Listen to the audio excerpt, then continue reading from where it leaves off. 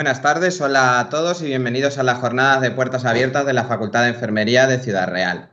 Eh, mi nombre es Julián, soy profesor en esta facultad y durante esta sesión os vamos a presentar lo que es nuestro centro y todo lo que debéis de saber para poder estudiar enfermería en nuestra facultad. Pero antes de ello, os dejamos con un pequeño vídeo de introducción.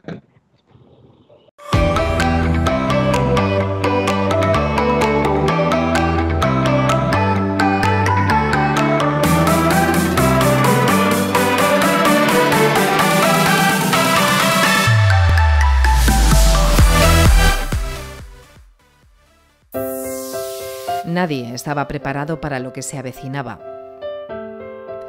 La sociedad demanda un alto número de profesionales preparados en el ámbito de la salud para que lideren el futuro.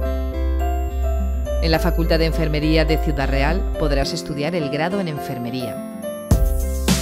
Las enfermeras y enfermeros son la columna vertebral de los sistemas de salud. El cuidado que ofrecen tienen un impacto más allá de las instalaciones en las que trabajan están implicadas directamente en la vida de las personas en la sociedad. Formar parte de esta profesión te dotará de los conocimientos técnicos y habilidades necesarias para ser parte de un compromiso con la sociedad, con tu paciente, ofreciendo soluciones todos los días a todas las personas del mundo. En la facultad encontrarás los mejores espacios para tu aprendizaje. Podrás planificar el cuidado integral de la persona basándote en la mejor evidencia científica. Puedes llegar a dirigir y gestionar sistemas de salud. Antiguos alumnos ya lo están haciendo. Puedes trabajar en un hospital o centro de salud, pero también puedes hacerlo en una UBI móvil o en un helicóptero. ¿Te imaginas trabajando en el Rally Dakar? Hola a todos, me llamo Darío Rodríguez, soy enfermero trabajo en la UBI móvil de Ciudad Real. Y bueno, tengo que decir que enfermería es una carrera que cambió mi vida. Eh, siempre tuve esa vocación de ayudar a los demás. Y creo que es una de las carreras más versátiles que existen porque es verdad que allá donde hay gente, allá donde hay actividad, siempre es bienvenido un enfermero, siempre es bienvenido un sanitario con lo cual eh, el campo que, se abre, que te puede abrir la enfermería es infinito, ya sea para hacer rallies, ya sea para trabajar en un hospital, para trabajar en primaria, en extrahospitalaria como trabajo yo, o, o en cualquier otro campo. ¿Quieres formar parte del cambio? Ven a estudiar con nosotros. Visión, capacidad de comunicación, transformación e influencia para cambiar tu entorno Aprende a ser enfermera o enfermero con nosotros y cambia el mundo.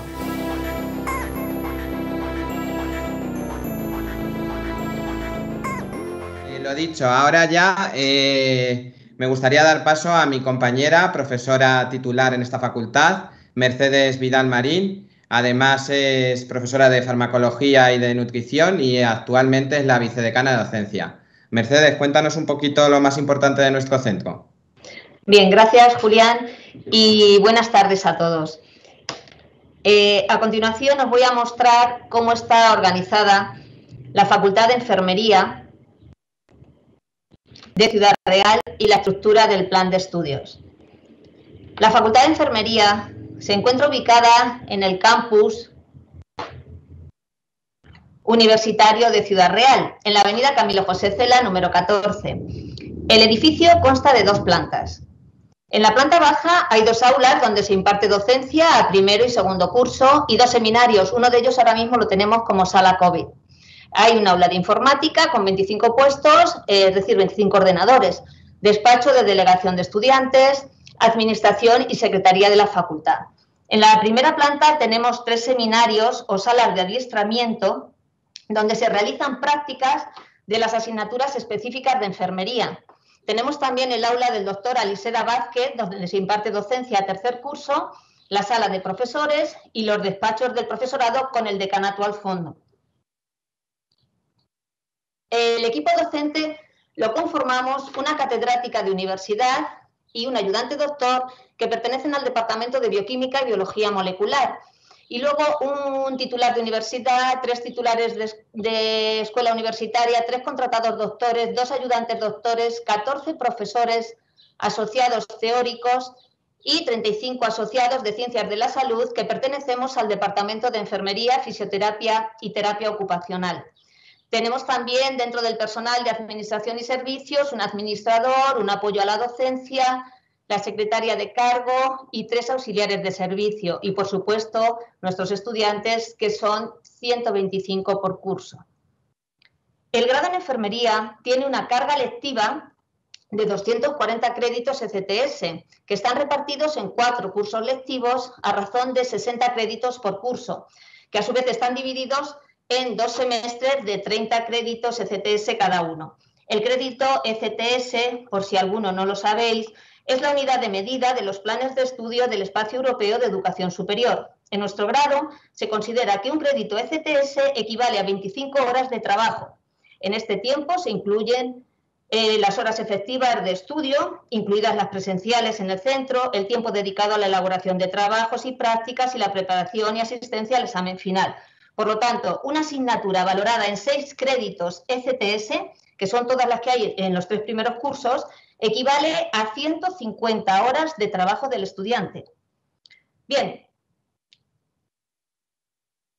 estos 240 créditos se encuentran distribuidos en cuatro cursos académicos. En el primer curso, casi todas las asignaturas son las consideradas básicas, es decir, asignaturas de carácter general dentro de una rama de conocimiento, en nuestro caso las ciencias de la salud, y no necesariamente específicas de la titulación, como son si veis eh, en la diapositiva, anatomía humana, bioquímica, fisiología, nutrición y dietética. Eh, ya en segundo curso aumentan las asignaturas con el contenido específico de la titulación. Si os fijáis, tenemos las enfermerías médico-quirúrgicas, tenemos enfermería comunitaria, enfermería maternal y además en segundo curso comienzan las prácticas externas, las estancias clínicas. Las prácticas externas en el grado de enfermería son una eh, parte fundamental de la formación práctica de los profesionales de enfermería y se realizan en entornos clínicos con pacientes reales y supervisadas por enfermeros, enfermeras, profesionales de los distintos servicios. Estas prácticas se desarrollan en los centros de las instituciones que tienen convenios formalmente establecidos con la UCLM. Y ya en cuarto curso, si os fijáis, eh, se configura exclusivamente con prácticas externas y con el trabajo de fin de grado, que consiste en el desarrollo por parte del alumno o la alumna de un proyecto y tiene la finalidad de favorecer que el estudiante integre los contenidos formativos recibidos durante sus estudios y asegurar la adquisición de las competencias asociadas a la titulación. Se realiza siempre bajo la dirección de un profesor tutor de los que imparten docencia en la facultad el tutor asesora sobre el enfoque del trabajo, metodología y recursos a utilizar y finalmente supervisa la memoria. Bien, hemos dicho que eh, en enfermería son fundamentales las prácticas externas. Los centros en los que se realizan dichas prácticas externas son la Gerencia de Atención Integrada de Ciudad Real, de Alcázar de San Juan, de Manzanares, Puerto Llano, Valdepeñas y Tomelloso. Aprovecho para deciros a los que seáis de estos pueblos, Alcázar, Manzanares, Puerto Llano, Valdepeñas o Tomelloso, que podéis realizar vuestras prácticas clínicas aquí en estos lugares, en vuestros pueblos. Eh, también eh, realizamos prácticas en la residencia de mayores y ciudad de matrimonios, en los centros Guadiana 1 y Guadiana 2, en la residencia de mayores de Miguel Turra y desde este curso académico también en el Hospital Quirón Salud de Ciudad Real. Eh, las tutorías, eh, la Facultad de Enfermería de Ciudad Real en el curso 99-2000 puso en marcha un plan de tutorías personalizadas, que es una tutoría individualizada para la mejora de la atención educativa que ofrece a sus estudiantes. Utilizamos siempre para realizarlas eh, una ficha guía elaborada por el equipo docente. En esta ficha reflejamos todas las actuaciones del tutor-tutora con el estudiante a lo largo de toda su carrera. Y las citas, estas tutorías, se realizan siempre fuera del horario lectivo del estudiante. Eh, también quería comentaros que eh, en primer curso, siempre al principio, en septiembre, se divide a todos los estudiantes de primero en grupos y se les, imparten, un, se les imparte un curso de orientación en nuevas tecnologías, donde se les enseña a manejar herramientas de las que dispone, haciendo especial hincapié en el campus virtual porque lo utilizamos muchísimo en la docencia. Bien, no quiero terminar sin agradeceros el interés por nuestro centro para cursar vuestros estudios de enfermería. Sois muy jóvenes y seguro que muchos os habréis planteado en algún momento ir a estudiar a ciudades mayores y en principio más atractivas para el estudiante, pero estoy segura de que no os equivocaréis optando por Ciudad Real. Nuestra ciudad ofrece todas las ventajas de las ciudades pequeñas. Las distancias son cortas y se puede ir caminando a casi todos los sitios. Además, dispone de todos los servicios básicos y todo tipo de comercios. Y en cuanto al ocio, también es una ciudad que ofrece muchas posibilidades para relacionarse. Bien, respecto al centro en sí, os puedo asegurar que os vais a encontrar muy a gusto. Al hacer las prácticas en grupos pequeños, la relación entre los alumnos y profesores es muy estrecha y cercana. Todos nos acabamos conociendo, lo que permite hacer un seguimiento de vuestras actividades que se complementan mucho con las tutorías personalizadas. Esto os va a hacer sentiros más acogidos y amparados en todo momento y más seguros en vuestro quehacer cotidiano. Es verdad que la pandemia ha interferido y puede seguir interfiriendo en estas labores cotidianas, pero los profesores, sobre todo durante el pasado confinamiento, hemos realizado un gran esfuerzo y nos hemos adaptado a las nuevas tecnologías y a la docencia en remoto. Estamos muy coordinados y en el momento que surja cualquier problema que os impida asistir a las clases presenciales, se van a poner en marcha todos los mecanismos disponibles para que podáis recibir vuestras clases a través de Teams, de manera que no os vais a sentir solos o abandonados en ningún momento. Y ya por último, eh, os animo a que empecéis desde el primer momento a estudiar con entusiasmo este grado. Es verdad que enfermería ha tenido tradicionalmente muy poco paro, pero con la pandemia la labor de los profesionales de la enfermería se ha revalorizado todavía más, siendo uno de los elementos fundamentales de la buena salud de nuestro sistema sanitario y del bienestar de nuestra sociedad. Sed, conscientes de esto y, por favor, disfrutad al máximo de vuestra vocación de enfermeros, enfermeras. Quedo a vuestra disposición para cualquier cosa que necesitéis, tanto desde mi labor de vicedecana como de profesora de este centro. Muchas gracias. Muchísimas gracias, Mercedes, por tu excelente exposición de lo que es nuestro centro y venir a estudiar aquí con nosotros. Eh, para continuar con estas exposiciones, me gustaría dar paso a Cristina León Espadas. Cristina es actualmente estudiante de tercero de nuestro centro y bueno, pues quiero que nos cuente un poco su, opinión sobre lo que le está suponiendo a ella estudiar enfermería y estudiar aquí en nuestro centro con nosotros. Cuéntanos, Cristina. Que en primer lugar, buenas tardes a todos. Eh, si tomáis la decisión de venir aquí a nuestra facultad, la verdad es que no, os vais a arrepentir, no solamente por, lo que ha dicho Mercedes, ¿vale? Eh, en cuanto al tema del plan académico, que es muy importante, mm, sino también porque ahora mismo nuestra facultad se encuentra en un punto de renovación eh, están llegando nuevos profesores con muchísimas cosas actualizadas y más teniendo en cuenta la situación de pandemia actual en la que estamos viviendo, es importante para la COVID pues es el, cuidado por parte de, la enfermera al paciente crítico que, que tenemos con el COVID. Eh, luego también, por otro lado, el cuerpo docente es increíble, mm, ya no solamente por lo que he dicho anteriormente, sino que están viniendo gente que está renovada, sino también por la implicación por parte de, ellos. Mm, en el sentido de que vais, o sea, ellos van a coger y van a explicaros las cosas súper bien, súper desglosadas. Em, mm, en el caso de que os quedéis con dudas, siempre están abiertos a tener tutorías, eh, buscaros artículos, en el caso de que queráis saber algo en cuanto a, un tema determinado. Mm, luego también, por ejemplo, algo que es súper chulo, que son los seminarios. Estamos todos ahí cuando llegamos en el primer semestre, que queremos empezar ya a sacar sangre, que queremos ya empezar ahí a hacer cosas, que es eh, pinchar culos como pensamos todos cuando entramos, pero no, en primer tenemos que ir poco a poco, primero la A y luego la B, que todo llega. Y bueno, los seminarios que es como estaba diciendo, son una pasada, te ríes un montón, no solamente entre los compañeros, sino también con los profesores. Bueno, aquí tenemos a, Julián, que os va a enseñar a hacer una cosa que se llama vendaje capelina y hay fotos para reírse de, ese tipo de cosas. Eh, luego también, por ejemplo, tenemos ahora mismo em, eh, una de las asignaturas que es materno.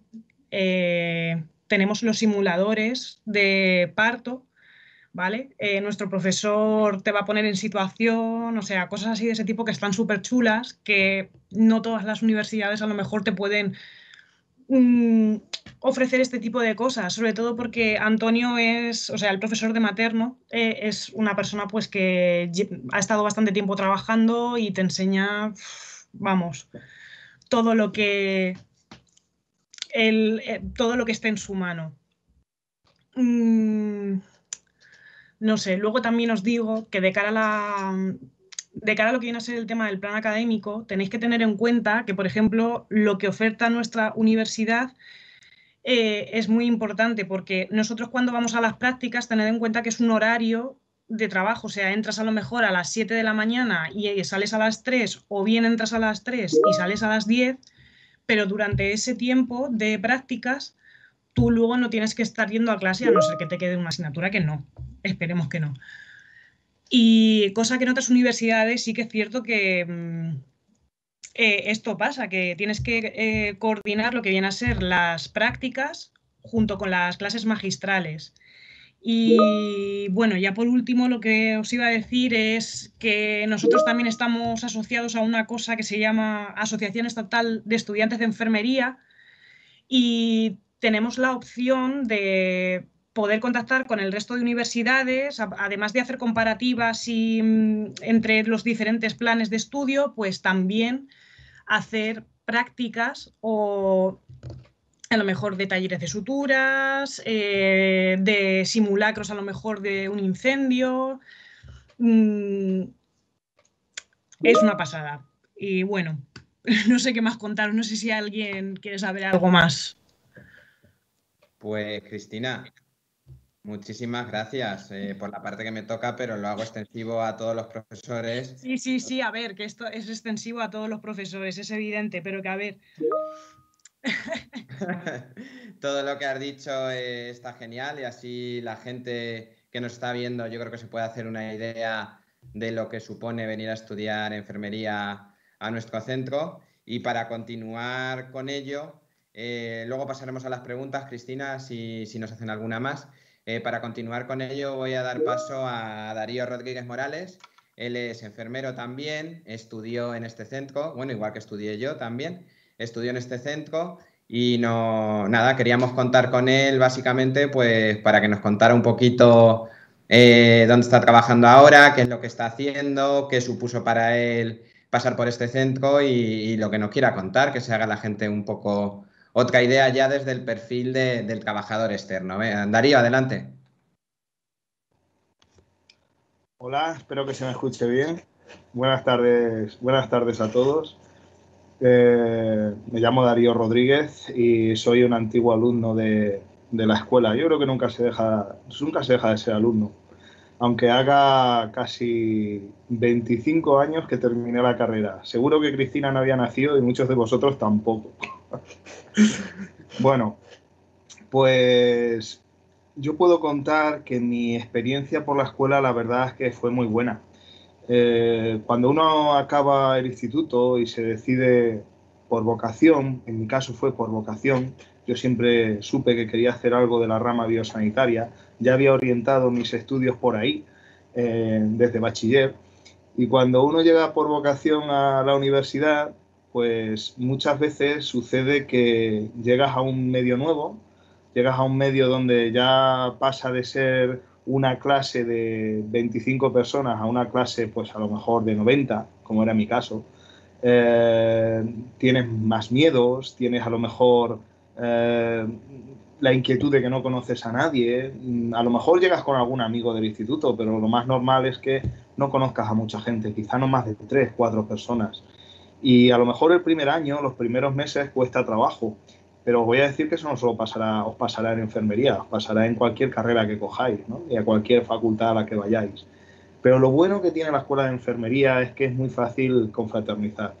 La, cercanía que muestra la escuela, no solo, no solo ya los amigos que vais a hacer, sino incluso la cercanía que muestra con los profesores, es verdad que, que ayuda y ayuda mucho, pero en todos los sentidos. Incluso estoy seguro que les podéis explicar problemas estoy seguro que a Julián, que lo conozco muy bien de, de, urgencias y él me conoce a mí, es un profesor al que le podéis contar inquietudes, problemas y él os va a saber orientar de, cualquier tipo, estoy seguro. Y, a mí me pasaba eso, era, era difícil el primer año, pero, pero al final terminé a finales de año encontrándome bien. Y al siguiente año ya todo iba como mucho más rodado. Es verdad que siempre se necesita a lo mejor un primer año para entenderlo y un eh, otro año para, para, empezar a rodar en esa dinámica, con esa, con esa inercia. Y lo bueno que tiene es que luego, ah, no sé ahora cómo es el plan de estudios, de verdad no lo sé muy bien, pero que estoy seguro que, que a poco en el tercer, cuarto año ya tenéis muchas prácticas. Y eso es un aliciente enorme de cambiar de ambiente, de salir de la escuela pensar que somos afortunados para eso. Dejamos la escuela de enfermería, dejamos el aula y nos vamos a un centro de salud, nos vamos a un hospital, nos vamos a una OBI móvil, a ver cómo trabajan nuestros compañeros, a ver cómo trabajan esta gente a la que nos queremos parecer en un futuro, seguramente, cuando terminemos nuestra carrera. Y, este aliciente no te creas que lo tienen muchas carreras, ¿no? Eh, sé que sí que la escuela ha mejorado mucho eh, con respecto a cuando yo terminé. Ahora hay aulas de simulación. Creo que todo esto, estas aulas de simulación, este, este nuevo material de formación que tenéis, casi me atrevería a decir que hoy salen mejor enfermeros que cuando yo terminé. Estoy seguro. Ahora es un grado, antes era una diplomatura. Eh, y tenéis todas estas herramientas que estoy seguro que os harán mejores. Creo además, como, decía en ese vídeo al principio, que la enfermería es una carrera para, disfrutarla. Es muy vocacional y el cerebro humano trabaja de forma de que, aunque tengamos sinsabores, porque nos vamos a encontrar con situaciones a lo mejor que son un poco complejas, pero el cerebro humano suele borrar todas esas situaciones que son complicadas, complejas, trágicas, ¿por qué no? Porque gran parte de nuestro trabajo es hacer feliz a los demás, porque te llaman, confían en ti cuando están en una situación de necesidad. Cuando te necesitan, eh, cuando más te necesitan, tú llegas allí y, simplemente eh, estar con ellos ya les consuela. Si encima eres capaz de solucionarles un problema que tienen de salud, bueno, ya si pudieran, te harían, no sé, eh, te harían su yerno.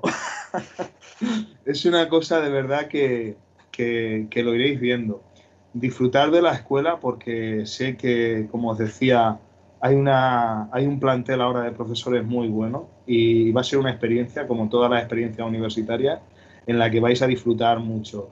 Y sobre todo os va a abrir un campo de, de posibilidades de trabajo, como os decía antes también en ese vídeo, infinito donde quiera que, haga, que haya actividad humana, os aseguro que un enfermero, una enfermera, es muy bien, muy bien acogido. Muchísimas gracias, Darío, por, ponernos tan claramente lo que significa para ti ser enfermero y trabajar como enfermero. Eh, no lo he dicho al principio porque pensaba que lo ibas a decir tú, pero como veo que no lo dices, pues yo lo cuento. Eh, Darío es enfermero en esta hospitalaria actualmente, que lo sepáis, trabaja en una UBI móvil, pero además, si no me equivoco, creo que llevas ya 10 ediciones como enfermero del Rally Dakar, ¿no? Creo que eres Legend, ¿no? Es así como se, denomina cuando ya lleváis 10 años, 10 ediciones. Y quiero que nos confirmes, porque no lo sé, es verdad que esto no lo he hablado contigo, si vas a por la 11 o está en mente la 11. Sí, es así una de las cosas en las que yo me empeñé era una de mis inquietudes. No todo el mundo tiene por qué tener las mismas inquietudes, pero a mí me gustaba mucho el tema de los rallies y, yo siempre sospeché, iba bien encaminado, de que en este tipo de rallies, como el Rally Dakar, o el Rally Ruta de la Seda, o Rally de Marruecos, pues hacía falta asistencia sanitaria, estaba claro que sí, y hacían falta enfermeros. Por lo cual yo me postulé, trabajé mucho, había que trabajar eh, para, para, llegar hasta ahí. Es verdad, ya llevo 10 Dakares, ya soy Dakar Legend. Esto es un poco un chiste porque cuando superas los 10 Dakares te dan una placa. Eh, es muy difícil hacer 10 Dakares, no penséis que es fácil. Eh, donde te pone lo de Dakar Legend. Voy a ir a por el 11. Esto también aprovecho para deciros, a lo largo de vuestra vida estoy seguro que incluso alguno, ojalá no muchos, se planteará la idea de irse fuera a trabajar buscando unas mejores condiciones de trabajo o trabajará aquí en España con gente extranjera, con equipos extranjeros. Una de las cosas que aprendí enseguida, yo cuando llegué a trabajar con equipos extranjeros, mayoritariamente compañeros franceses, que tienen un sistema distinto. En Francia, igual que aquí, hay especialidades de enfermería, pero allí a día de hoy funcionan de verdad. Aquí todavía se están desarrollando, ¿no? Pues siempre tiene uno, no sé, la, eh, el miedo de decir, ostras, daré yo el nivel como enfermero al lado de esta gente, que son muy buenos, los enfermeros eh, franceses, enfermeros ingleses que trabajaban con nosotros, alemanes. Pues puedo decir tranquilamente que perder ese miedo. No voy a decir que, que tengamos una formación superior, no, pero al nivel que puedan tener ellos. De hecho, ellos tienen algunas fortalezas y algunas debilidades, nosotros también estamos absolutamente compensados. Y en algunos campos nuestras fortalezas son superiores. O sea, tampoco tengáis miedo a, competir con, compañeros en el extranjero. La formación que vais a tener en la escuela de enfermería ya os va a proporcionar eh, una, inercia, ya os va a dar las zapatillas perfectas para empezar a correr vuestra maratón en la vida. O sea que no tengáis miedo con eso. Muchas gracias, Darío. Pues yo creo que ya habiendo expuesto los tres, creo que deberíamos dar paso al turno de preguntas. Y Darío, no te vayas muy lejos porque hay una que, aunque no llega, bueno, a tu edad o la mía, porque tenemos básicamente la misma, pero nos preguntan de la gente que nos está viendo de su casa que si es acertado entrar en enfermería con 24 o 25 años. ¿Tú qué piensas? Pienso que no hay edad.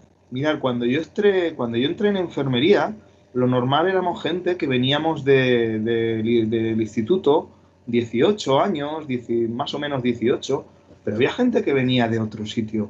Y había gente que ya había hecho una carrera, que había hecho psicología y ahora entraba en enfermería, ya tenía sus veintitantos, eh, incluso había gente que había tenido otra experiencia profesional de lo que sea y venía con sus treinta y tantos no pasa nada. Al fin y al cabo, de verdad, al final todos somos compañeros. Te digo más, esta persona que tiene 24 años seguramente podrá aportarle más cosas a estos compañeros que son más jóvenes, aunque sea simplemente por conocimiento de la vida. Seguro que sí. O sea que no, no me parece para nada una, mala idea. Perfecto. ¿Puedo contar eh, yo algo? sí, sí, adelante. En mi caso, yo entré a la carrera con 26 años. Yo venía de dos formaciones profesionales, técnico de rayos y técnico en actividades físico-deportivas. Entonces, no pasa nada. O sea, más vale tarde que nunca. Lo importante es llegar. ¿Vale? Yo, por ejemplo, en mi caso, fui a, pues eso, a las jornadas que tenemos de iniciación en la universidad con el resto de, de, estudiantes y no pasó nada. Y fíjate que yo ahora mismo o sea, me llevo bastante con, mis compañeros de clase y una más. Cristina, en alusión a eso, eh, hay otra pregunta que al tenerlo tú reciente creo que podrás eh, solucionársela. Y es que nos dicen que con qué ciclos de grado superior de sanidad eh, se, se, tiene acceso realmente a enfermería. A ver, se tiene con higienista bucodental, técnico en imagen para diagnóstico, laboratorio clínico, técnico en actividades físico-deportivas, eh, nutrición, y dietética. Mm, y ahora mismo también hay uno nuevo que no, en verdad no sé muy bien en qué consiste, pero es algo de gestión del sistema sanitario. Vale, pues ya con eso ya tienen una idea para ir un poco bicheando por las webs de los ciclos y viendo un poco a ver dónde pueden entrar. Mercedes, eh, hay una pregunta para ti. Nos dicen desde el chat eh, si podemos contarles un poco eh, en qué horario nos movemos. Yo sé que ahora por el COVID tenemos otros horarios, pero nos cuentan un poco que nuestro grado, qué horarios lleva, si mañana o tarde y si las clases son presenciales. Vamos a ver, el horario de enfermería es mañana y tarde, porque tenemos profesores asociados que mm, algunos solamente pueden venir por la tarde. Entonces, el horario es fundamentalmente de mañana, pero hay clases también por la tarde. Y ahora con el horario COVID, bueno, pues ya hemos tenido que hacer, al exigirnos primero totalmente presencial, pues eh, las clases de teoría son por la mañana en el Paraninfo Luis Arroyo y los seminarios son por la tarde aquí en la Facultad de Enfermería. Eh, con respecto a si las clases son obligatorias, los seminarios son obligatorios y, por supuestísimo, las salas de adiestramiento son obligatorias, pero eh, la universidad eh, no es obligatorio por ley las, clases de elección magistral. O sea, la, la, magistralidad se puede premiar, pero no castigar la ausencia a la magistralidad. Perfecto. ¿Vale? Mercedes, no te vayas muy lejos, que tengo otra pregunta para ti, pero antes voy a contestar yo una porque nos preguntan eh, que si sabemos cuál es la nota de corte para entrar en nuestra facultad. Eh, la pues nota de corte del año pasado eh, se quedó en 10,58, fue la nota de corte para entrar en nuestra facultad. Y ahora sí, Mercedes, nos preguntan y nos dicen, es, un, es un fisio, es un egresado, y nos pregunta si para entrar aquí en nuestra facultad, bueno, en enfermería realmente, se le llegan a convalidar algunas asignaturas o no se convalidan de las que ha estudiado en fisioterapia. Sí, claro. Eh, vamos a ver, eh, mm, hay que eh, convalidar por ley 36 créditos de las básicas, ¿vale? siempre que coincidan en un 60% con el, contenido nuestro, pero si no, se pueden eh, convalidar por algunas, por optativas, por ejemplo, ¿vale? Entonces, sí, claro que se convalidan. Eh, hay hasta 10 eh, asignaturas básicas y, un mínimo de 36 créditos hay que por ley hay que convalidar. Yo ya exactamente de fisioterapia, como yo no conozco exactamente el, plan de estudios de fisioterapia, no puedo ir decir asignatura por asignatura, pero claro que se convalidan. Mínimos 36 créditos, ¿vale? Vale. Eh, Cristina, no sé si lo sabes, si no lo comento yo, pero creo que seguramente sí lo sepas por compañeros. Eh, nos preguntan que cómo va el tema de los Erasmus aquí en esta facultad. A ver, Aquí tenemos a nuestra doctora Montoya, ¿vale? Que la tendréis como coordinadora de, primero y es ella la que se encarga de realizar los Erasmus. Ahora mismo tenemos compañeros que se quieren ir a Creta, hay gente que se quiere ir a Finlandia, o sea, tenemos un, amplia, un amplio abanico de posibilidades para poder realizar los Erasmus. Luego también tenemos una unidad que gestiona lo que viene a ser la tramitación del tema de, de los Erasmus. Eh, entonces, si queréis iros de Erasmus, que sepáis que os van a dar todas las facilidades del mundo y además es que os animan a ello, a que, a que os vayáis a hacerlo. Entonces, si decidís venir aquí y queréis hacer el Erasmus, tenemos aquí eh, un montón de gente que os va a orientar y os va a ayudar en todo lo posible. Gracias, Cristina. Eh, hay un par de preguntas, estas las puedo contestar yo, eh, que nos preguntan si desde los ciclos eh, superiores se convalidan asignaturas a la hora de entrar en enfermería. no se convalidan asignaturas, los ciclos tienen sus asignaturas y el grado tiene sus asignaturas. Si no me equivoco, vamos, Mm, sí, se, sí se convalidan. Sí se convalidan, Julián. Sí, por ejemplo, yo la nutrición y dietética se la convalido siempre a la gente que viene del grado superior de nutrición y dietética. Sí se convalidan, ¿eh? Genial. Y luego hay otra pregunta que aunque no va directamente para ti, Darío, eh, no sé si me la sabes responder. Eh, nos preguntan que una vez que ya hemos salido fuera, cómo podríamos llegar a meternos a, bueno, lo llaman enfermería militar, realmente yo creo que pues eso, a, trabajar en el ejército. No sé si conoces a alguien o conoces el caso o sabes cómo es el acceso a este tipo de enfermería. Sí, sí lo conozco. Conozco casualmente, sin ir más lejos, al enfermero que, que está en la base de Almagro, aquí bastante cerca de Ciudad Real. Pues aquí se accede por oposición hay oposiciones para, para la enfermería militar. Suelen salir, os lo puedo decir, suelen salir cada año no demasiadas plazas, pero entre 10, 15 plazas suelen salir. Parecen pocas, pero tampoco es mucha la gente que se postule para, para ir a esta oposición. Con lo cual, puede ser factible preparándose, por supuesto, hay que prepararse, uh sacarlas. Hay otras opciones de colaborar, si os gusta mucho la vida militar, con, con nuestro ejército eh, como enfermero, por ejemplo. No sé si sabéis que hay un programa de reservistas voluntarios para gente que son civiles, para gente que somos civiles, también nos podemos postular cada año en torno a octubre. Sale una, sale una convocatoria para reservistas voluntarios.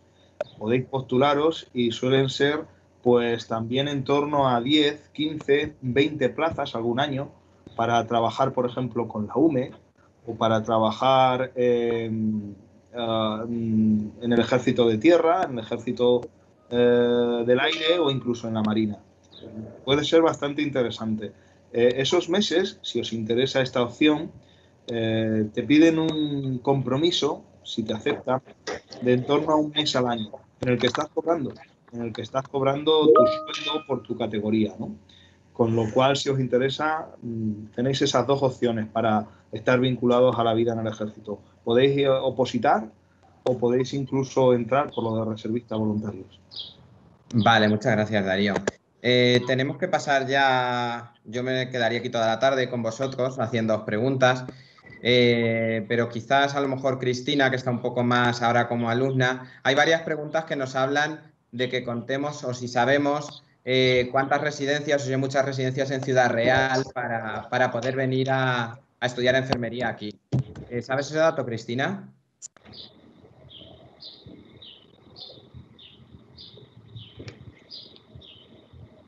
Cristina, el micro, porfa, no te escuchamos. ¿Ahora? Ahora, perfecto. Vale, a ver, aquí en, Ciudad Real sí tenéis varias.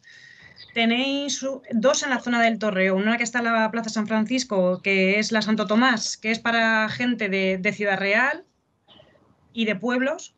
Tenéis luego la Quijote, tenéis la eh, San Francisco, tenéis otra de Cruz Roja, o sea, tenéis varias residencias. hay muchas, hay más. Están las de las monjas. Las de las monjas. Sí, la de las monjas sí. O sea, tenéis. Y el doncel. El doncel, esa es otra que está un poco más retirada del campus. La que hay aquí en el campus, hay muchas. Tenéis un listado, ¿vale?